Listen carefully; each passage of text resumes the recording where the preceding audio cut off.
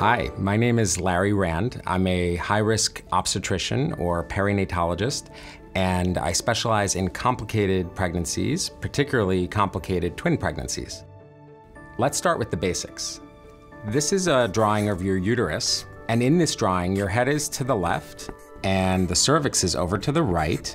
Now let's add a placenta. The placenta is essential to the baby's existence in the uterus and is how the baby will grow and get food. Mom sends her blood to the placenta, filled with nutrients and oxygen that the babies need to grow.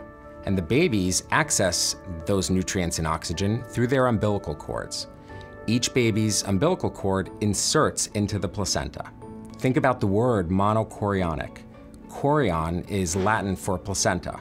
Monochorionic refers to the fact that there's only one placenta for two babies. Now, normally, the way that a pregnancy functions is that each baby gets its own placenta, one baby, one placenta for normal growth. But in a monochorionic twin pregnancy, two babies are expected to share a single placenta. Let's talk about something called unequal placental sharing. So in all twin pregnancies, it's important to watch how the babies are growing. You'll hear a lot about each baby's size at various ultrasounds particularly in a monochorionic twin pregnancy. Both babies need to draw their nutrients and oxygenation from that one placenta. How the babies grow over time is an important marker. Now, it's also normal for twins to vary in size. And in fact, we allow up to a 20% difference and consider that normal. But once the difference between the twins is more than 20%, we call that discordant for growth or size and it becomes more important to watch very closely. In particular, when we're watching a twin pair that's discordant in size, the situation is usually that one twin is appropriately grown, but the other twin is too small or lagging behind significantly. In fact, the difference in size between a pair of twins can be pretty accurately predicted by where the umbilical cords insert into that placenta. When you have two centrally inserted umbilical cords, we'd expect the growth to be pretty similar.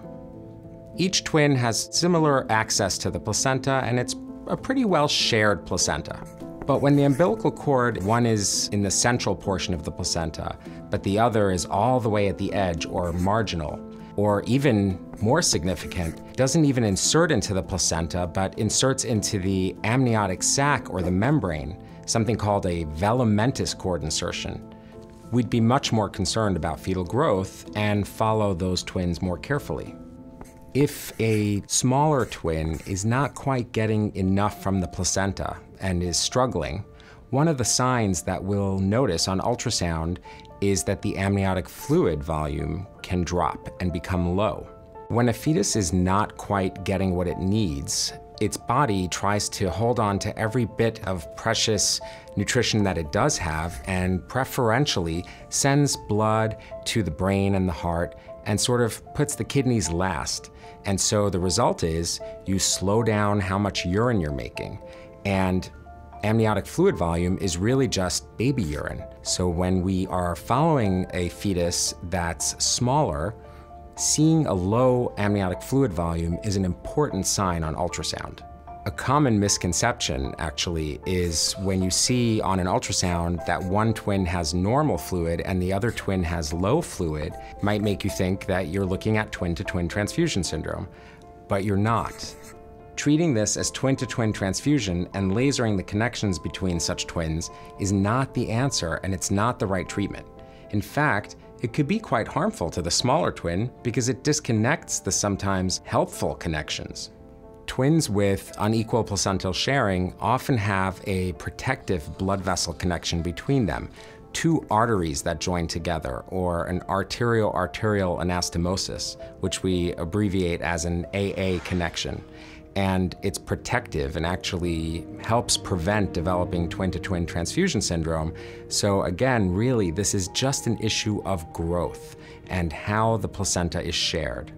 The key in unequal sharing is actually to avoid adding additional risk by having an operation or a surgery. It's critical that twins with unequal sharing are followed very closely with ultrasound, looking at their growth every 14 days, looking at the amount of amniotic fluid in each sac, and looking at the blood flow through each umbilical cord to the placenta. And if we do that, the average age of delivery is actually between 33 and 34 weeks, which is quite a good outcome.